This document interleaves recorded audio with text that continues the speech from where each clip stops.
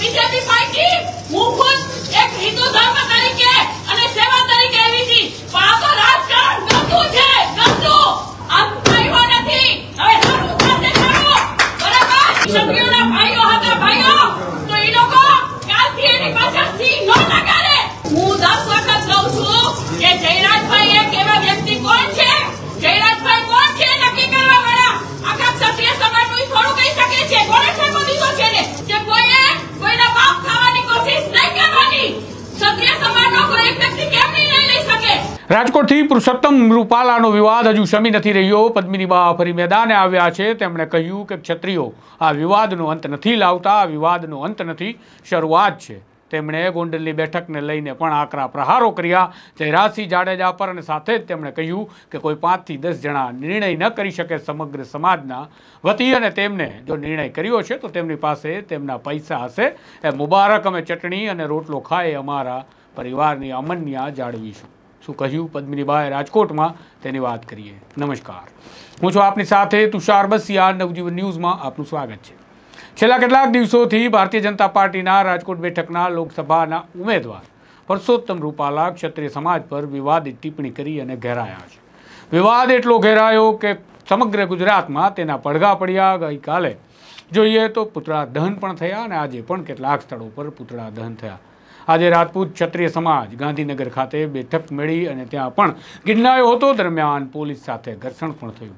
આ સમગ્ર બાબતોની વચ્ચે ક્ષત્રિય સમાજના આગેવાનો કહી રહ્યા હતા કે વિવાદનો અંત છે, કારણ કે ગઈકાલે ગોંડલના ગણેશ ગઢ ખાતે પૂર્વ ધારાસભ્ય જયરાસિંહની હાજરીમાં સમાધાન થયું અને પરસોત્તમ રૂપાલાની માફીનો સ્વીકાર કરવામાં આવ્યો છે. પરંતુ ગઈકાલે મહિલાઓને અંદર પ્રવેશવા દેવામાં ના આવી અને પોલીસે અટકાયત કરી દમન કર્યું તેની પણ વાતો સામે આવી. ત્યારે આજે પદ્મિનીબાએ શું કહ્યું જયરાજસિંહને? કારણ કે જયરાજસિંહે ગઈકાલે કહ્યું હતું કે જેમને વાત કરવી છે, એ મારી પાસે આવે, મરદના દીકરા હોય તો હું ચર્ચા કરવા માટે તેમના સ્થાને જઈ ચર્ચા કરવા તૈયાર છું. સાંભળો, પદ્મિનીબાએ વળતો જવાબ શું આપ્યો?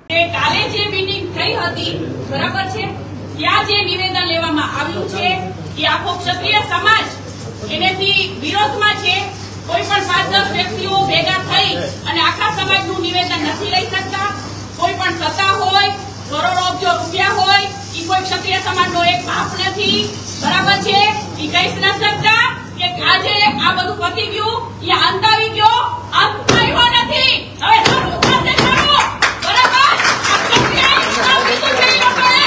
તો આજે ઈ મીટિંગમાં ત્યાં જે બેઠા હતા ને ઈ ક્ષત્રિયોના ભાઈઓ હતા ભાઈઓ તો ઈ લોકો કાલથી એની પાછળ સિંહ ન લગાડે બરાબર સિંહ તો ન થવું જોઈએ અત્યારે ક્ષત્રિયનો દીકરો હોય ને ઈ ગમે એમ હોય ને તો બીજા સમાજના ભાઈઓ મારા પડખે આવ્યા છે તો આ બધા સિંહ કહેવાને લાયક નથી બરાબર અને એની જ પ્રેસ કોન્ફરન્સ ગોઠવી છે કે કોઈએ કોઈના બાપ ખાવાની કોશિશ નહીં કરવાની ક્ષત્રિય સમાજનો કોઈ એક વ્યક્તિ કેમ નહીં લઈ શકે અને બીજી વાત કે બાપુશ્રી આપણે ગદ્યાકાર હું નામ નહીં લઉં મારા વડીલશ્રી છે ત્યાં પણ આપણે રૂપાલા ભાઈએ બહુ આમ બે હાથ કે બે પગ ને ચાર માથા જોડે ભાઈ તને માફી તો નહીં જ થાય બરાબર જય ભવાની જય ભવાની રદ થશે અને રદ કરવાની જ છે હવે હું સરકાર સામે હું પડું છું કે બીજેપી પાર્ટી હું ખુદ એક હિન્દુ ધર્મ તરીકે અને સેવા તરીકે આવી હતી પણ આ તો રાજકારણ ગંદુ છે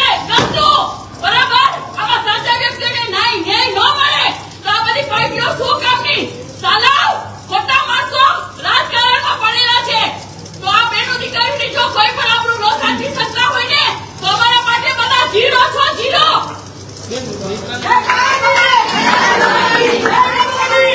ગઈકાલે જે બેઠક મળી હતી એમાં જયરાજસિંહે એવું કીધું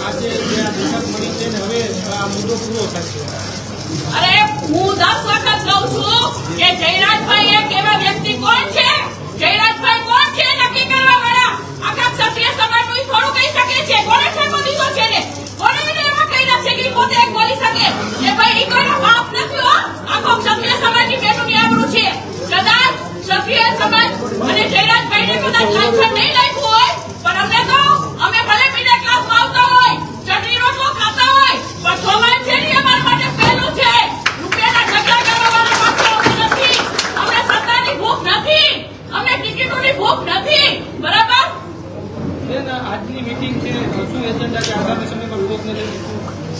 અમે વિરોધ અમારો ચાલુ જ રાખશું. જ્યાં સુધી રૂપાલાભાઈ ટિકિટ રદ નહીં થાય અને આખું હિન્દુત્વ જોશે કે એ સક્રિય ક્ષત્રિયને ક્ષત્રિયનું નામ લીધું છે જો આનું પરિણામ નહીં આવે ને તો આખું હિન્દુ સમાજ રોશે એવું અમે કરીને દેખાડવાના છીએ જય ભવાની.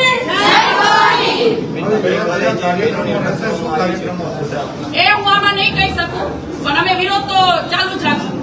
ગઈકાલે બહેનોની જે અટકાયત એના વિશે આપ અરે એ તો નમાલા હોય ને, ઈ બાયલા હોય ને બાયલા ઈ બેનુની અટકાયત કરે અને રૂપાલા ભાઈ તમારી સત્તાનો પાવર તમારી પાસે રાખજો મારા ઘરે પોલીસ મોકલી હતી એ ભાઈલા હામા ભાઈ હામા આવી જાઓ હામા પાછી બેનુને પોલીસની અટકાયત કરો છો પાછા વિડિયો વાયરલ કરો છો કે મરદના દીકરાઓ ઈ સામે આવે તો અટકાયત શું કામ કરી એમ જ હતું કે પદ્મિનીબા વાળાની એન્ટ્રી નહીં તો શું કામ તો પાછળથી વિડિયો વાયરલ ન થવા જોઈએ બરાબર મને ત્યાં સુધી પહોંચવા જ ન દીધી કેમ અમને બેનુને બોલવાનો હક નથી ક્ષત્રિય સમાજના બેનુનું નામ લીધું હતું તો કાલે મીટિંગમાં કોઈ ક્ષત્રિય સમાજનો આગેવાન હતો જ નહીં તમે સાંભળ્યું એ પ્રકારે પદ્મિનીબાનું કહેવું છે કે સમાજના પાંચથી દસ લોકો, વ્યક્તિઓ, આગેવાનો કે જે પૈસાદાર છે તે સમાજનું પ્રતિનિધિત્વ જરૂરથી કરતા હશે, પરંતુ તેઓ સમાજના બાપ નથી.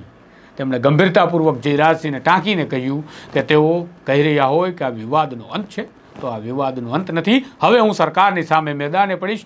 હું લડીશ. હું ભારતીય જનતા પાર્ટીમાં હતી, પરંતુ મને આજે ખબર પડી કે આ રાજકારણનો ગંદો ખેલ છે. મારે અમારી માંગણી સંતોષાય નહીં ત્યાં સુધી આ લડાઈ ચાલુ રાખવાની છે. સાથે જ તેમણે ક્ષત્રિય સમાજની ગઈકાલે ગોંડલ ખાતે જે મળેલી બેઠક હતી જયરાજસિંહ જાડેજાની, ત્યાં હાજર લોકોને પણ કહ્યું કે આવતીકાલથી તમે સિંહ લગાવવાનું બંધ કરજો. આમ જોવા જઈએ તો પરસોત્તમ રૂપાલાના ઘરમાં લાગેલી આગ, હવે ક્ષત્રિય આગેવાનો કે જે ગઈકાલે સમાધાનની વાત કરી રહ્યા હતા તેમના ઘર સુધી પહોંચે તો ના નહીં. તમામ અપડેટ પડે પડના સમાચાર માટે નવજીવન ન્યૂઝ સાથે જોડાયેલા રહો. નવજીવન ન્યૂઝની ચેનલને તમે લાઇક શેર અને સબસ્ક્રાઇબ કરવાનું ભૂલશો નહીં. નમસ્કાર.